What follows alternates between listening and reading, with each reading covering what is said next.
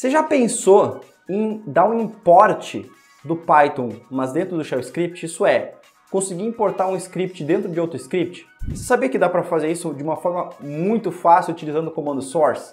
É isso que eu quero te mostrar no vídeo de hoje. O comando source ele é muito utilizado para você pegar informações e adicionar a seção atual do bash. Então, se eu tenho um script e esse script ele tem várias funções, se eu der um source, ele pega todas essas informações e puxa para dentro dessa seção do bash. O mesmo acontece quando você executa um script. Por quê? Você está numa seção de bash. Quando você executa o script, ele cria uma nova seção de bash isolada, executa o script e finaliza a sessão de bash e volta para a sessão anterior. Então veja, se eu der um source nessa sessão atual, tá? E executar o script, esse script não tem acesso ao que está aqui embaixo, porque ela não é uma configuração persistente. Então o que, que eu posso fazer no meu script?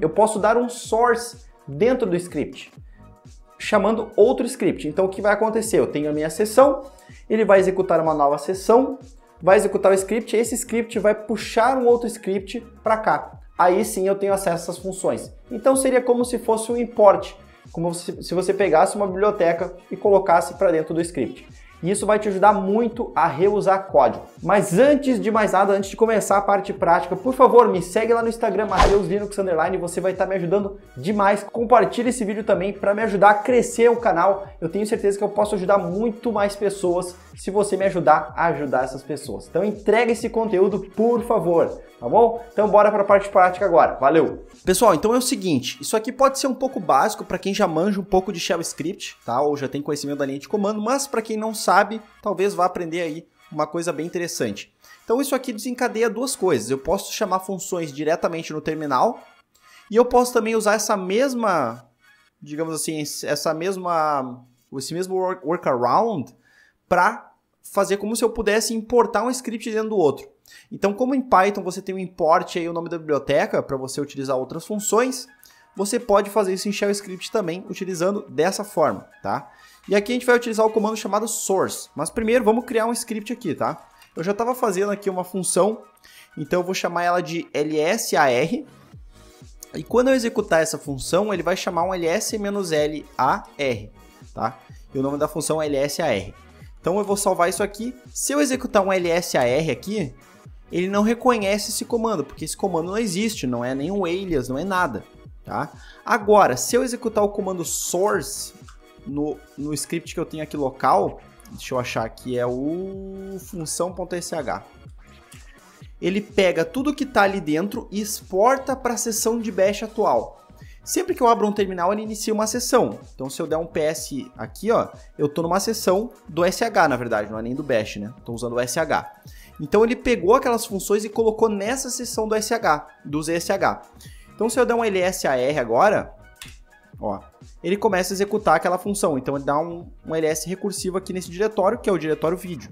Então se eu sair desse diretório e dar um lsar, ele começa a dar isso aqui no barra, ó.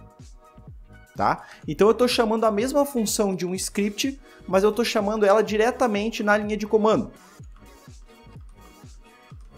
Tá? Estou chamando ela diretamente na linha de comando aqui.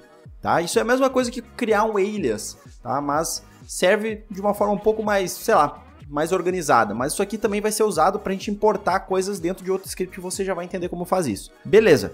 Aí eu carreguei essa função dentro dessa seção. E em um shell script, como que isso aqui pode ser útil? Toda vez que eu inicio a execução de um shell script, ele cria uma nova seção de bash. Quando ele cria essa nova seção, é, eu não tenho acesso às coisas que eu tinha na seção que eu estou executando. Então, eu estou executando o terminal em uma, executo o script, ele cria uma nova seção. Então, eu perco essas coisas aqui. Então, por exemplo, se eu quisesse chamar um outro script ou carregar as funções de um outro script para dentro do script atual, eu preciso dar um source dentro do script para o outro script. Então, digamos assim, iniciei a execução, ele criou uma nova seção de bash. Eu preciso trazer as funções daquele cara para dentro dessa para dentro dessa dessa execução, tá? Eu vou mostrar um exemplo aqui para você. Eu vou criar um outro script que vai ser o funções2.sh. E esse cara aqui, ele vai dar um source no funções.sh, que vai estar naquele mesmo diretório, e depois disso ele vai executar um lsar. Beleza? Ó, vou dar um chmod mais x funções.sh, tá? Uh, na verdade, eu não vou dar um source aqui ainda. Então eu vou vir aqui, eu vou comentar essa linha e deixa eu iniciar o script aqui que eu não fiz isso. Tá? Então, teoricamente, se eu colocar e der um source naquele script funções.sh e dar um lsar, ele deveria executar. Mas vamos entender como é que isso aqui funciona. Ó, eu tô, eu tenho lsar no meu terminal, certo? Então, se eu der um ponto barra no funções 2, ele fala que o lsar não existe. Mas como não existe se eu estou executando aqui? Por que, que isso ocorre? Porque, como eu falei, quando eu crio, quando eu dou uh, o ponto barra funções underline 2.sh, ele cria ele cria uma nova sessão de bash, executa e depois volta para a sessão atual. Então, quando eu mudo de sessão, eu perco o que eu já dei o source, porque ele não é algo persistente. Então, eu perco aquilo que está ali. Então, como eu faria isso?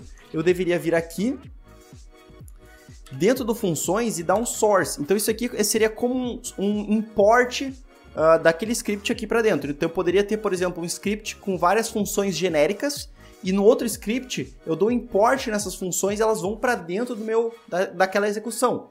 Então agora eu vou ter ela disponível. Ó. Se eu der um ponto barra funções, opa, não é funções, é função. Então deixa eu vir aqui e dar um função.sh.